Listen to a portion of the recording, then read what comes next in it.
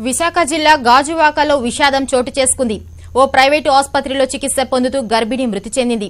వైద్యుల నిర్లక్ష్యం కారణంగానే చనిపోయిందని మృతురాలి బంధువులు ఆరోపించారు. ఘటనపై పోలీసులు కేసు నమోదు చేసి దర్యాప్తు చేస్తున్నారు.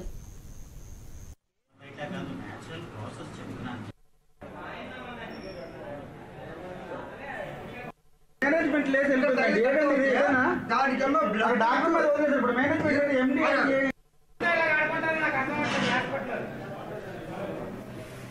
పనిచేసిన అమ్మాయితో కూడా అయితే ఇంకా బయట నుంచి వచ్చిన కస్టమర్ కూడా పేషెంట్ కూడా ప్రాబ్లం లేకుండా అయిపోయింది డాక్టర్లు ఎందుకు నమ్ముకుంటారు నైట్ తొమ్మిదిన్నరకి ఆ రోజు మన రంజాన్ సార్ చేతులు ఎత్తేసారు సార్ ఆ అబ్బాయి క్రిటికల్ పొజిషన్ ఉన్నాడు ఒక four days sir fifty fifty position ఉన్నాడు సార్ ఆ అబ్బాయి 22 years, wife of Guru, Abdul Alim, on 24 12 2016. On my clinical examination, I suspected jaundice and investigated. Investigations were done. As her blood pressure was increased, raised, and uh, liver function tests were altered with elevated liver enzymes. I